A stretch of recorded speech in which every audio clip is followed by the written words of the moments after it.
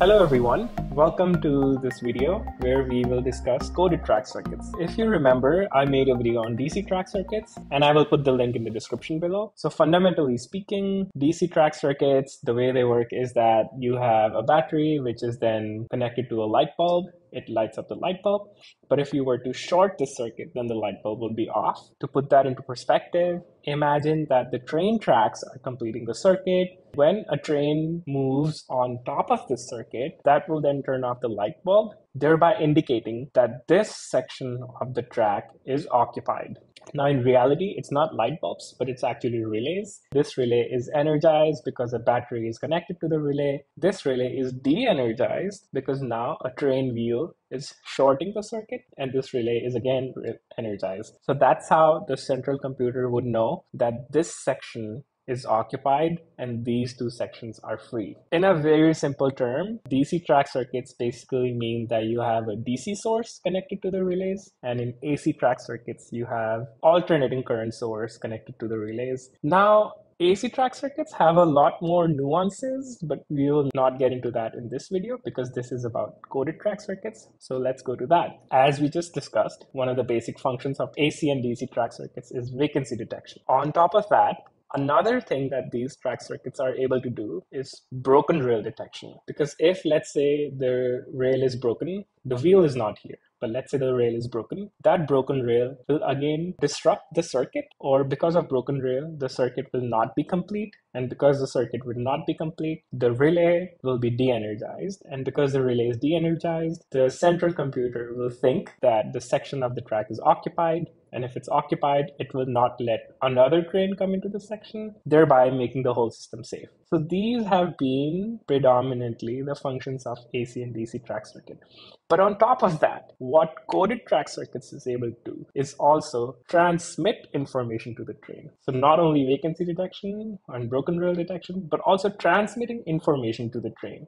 How cool is that? So let's talk about how this encoded track circuits, you are able to transmit information to the train. Going back to the fundamentals, let's say there's a metal rod and this metal rod has free electrons. Now, just based on the property of those electrons, this electron will have an electric field around it. When you connect this metal rod to an alternating current source, this electron starts oscillating up and down. And because now this electron is oscillating up and down, it generates an alternating electric field. You'll see just now. So the alternating electric field looks like this. And also, anything that has an alternating electric field will also have an orthogonal and alternating magnetic field. Now, if you have an electron which is generating the alternating electric field and the alternating magnetic field, that magnetic field will then put some force on the electrons in this other rod, which will then also cause this electron to oscillate. So basically, what we just did is transmit information from this rod through air to the other rod, meaning this is now acting as an emitting antenna and this is acting as a receiving antenna.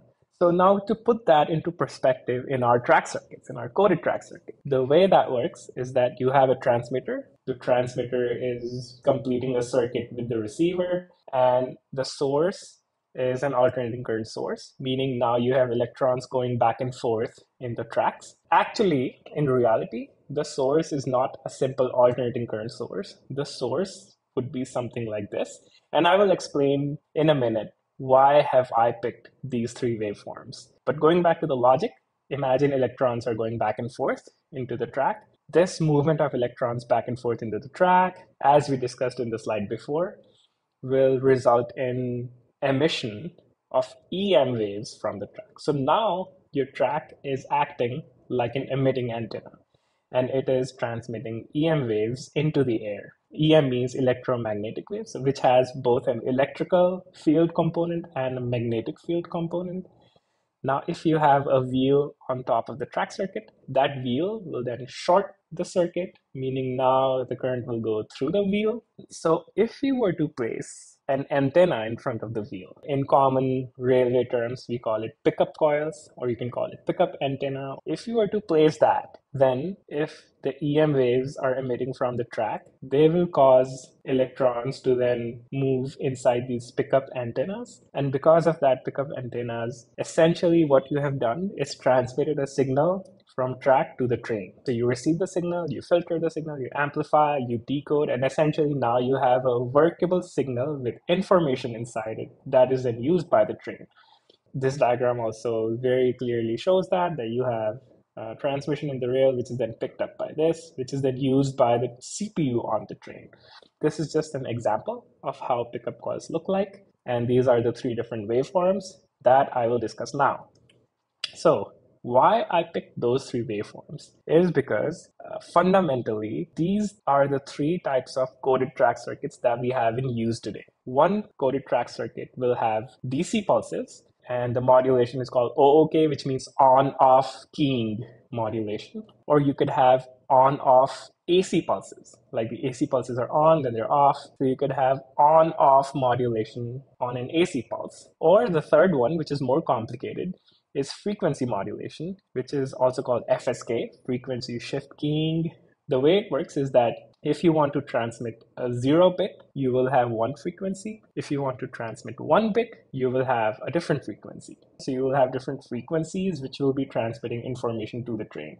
So now let's look at the first variation, which is pulse codes. The way these pulses are sent are either in the form of DC pulses or in the form of AC pulses. Now the codes are essentially number of pulses per minute in that if you're sending these many pulses per minute, that's one type of code. If you're sending more pulses per minute, that's a different type of code. Uh, let me explain that a bit more. So what that means is that if you are sending, let's say, no pulses, train would be driven at a maximum speed of 20 miles per hour, and this is the aspect if you are sending 75 pulses per minute, it would interpret that as moving at 30 miles per hour. That's my speed limit, and that's the aspect.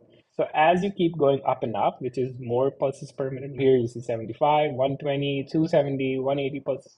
So as you keep going up, every single pulses per minute will mean a different code. So if this is code 120, that means it's 120 pulses per minute. 270 would mean 270 pulses per minute. And every when any, each of these are received by the cab equipment, they'll interpret that information as this speed and this aspect, and that would show on the driver display like this. So it would tell you the speed, it would tell you the aspect. There's different variations of this display, but this is essentially how pulse codes work. There could be tons of variation, tons of nuances, but in terms of the logic, this is what pulses basically mean. If you want to know more, there's a whole Wikipedia page dedicated to pulse code cab signaling, which tells you all the nuances of this code. To put that into perspective, what that means is that when your central computer knows where the train is, where the second train is, what the state of the signal is, whether the signal is green or whether the signal is red, if there are any permanent speed restrictions, temporary speed restrictions, if there are switches. Based on all of that information, the central computer will then send speed codes to each and every coded track circuit. So what that means is that if a train is driving and if there's a red signal, the train receives an AB speed code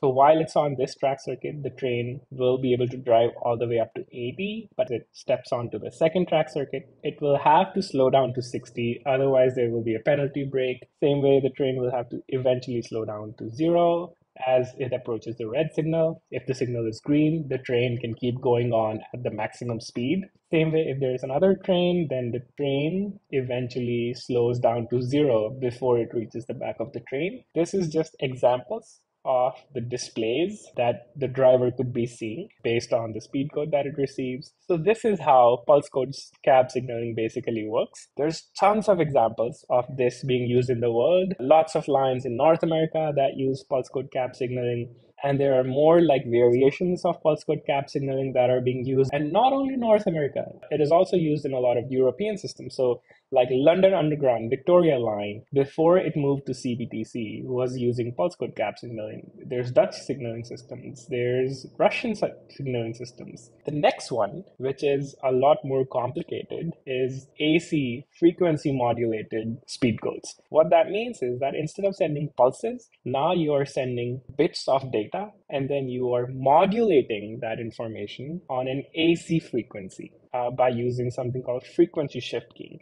So if you want to send zero, you'll send one frequency. If you want to send one, you'll be transmitting a different frequency.